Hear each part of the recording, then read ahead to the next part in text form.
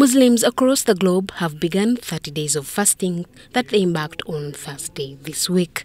The National Resistance Movement Secretary General Richard Todwong wished all Muslims a happy Ramadan and asked them to use the month to pray for the country. I wish all of you Allah mercy, love, peace, and reconciliation, forgiveness, and prosperity in your homes.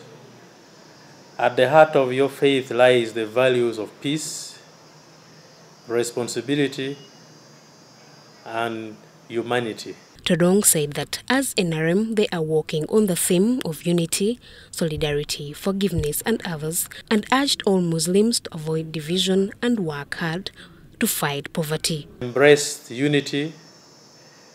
We preach against divisionism. We preach against all types of segregation. We promote coexistence and forgiveness.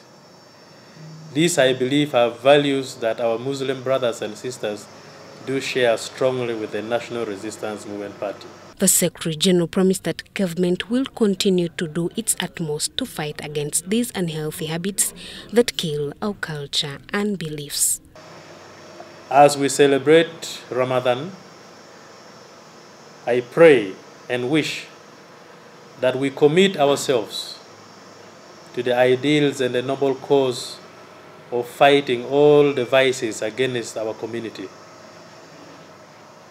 Fight against domestic violence, gender inequality, fight against corruption, fight against poverty. Miriam Umcha, Joseph Muyingo, UBC News.